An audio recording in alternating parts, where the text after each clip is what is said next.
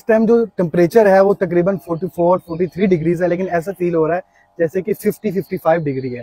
तो आजकल की जो जनरेशन है वो घर में बैठी रहती है वो ये कहती है आज मैं जॉब पे नहीं जाऊँगा आज मैं काम पे नहीं जाऊँगा क्योंकि गर्मी बहुत है या तूफ़ान आ रही है आंधी है। तो ये सब लेम एक्सक्यूज है।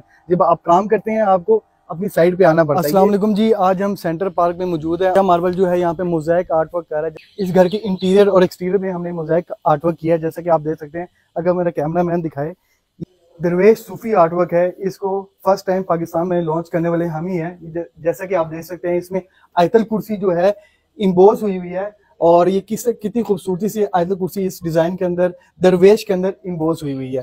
और अगर मेरा कैमरा मैन दिखाए ये अल्ट्रा वायलेट आर्ट वर्क जो कि जकिया मार्बल की स्पेशलिटी है, और फ़र्स्ट टाइम पाकिस्तान में जकिया मार्बल ने ये अल्ट्रा वायलेट आर्टवर्क इंट्रोड्यूस किया था।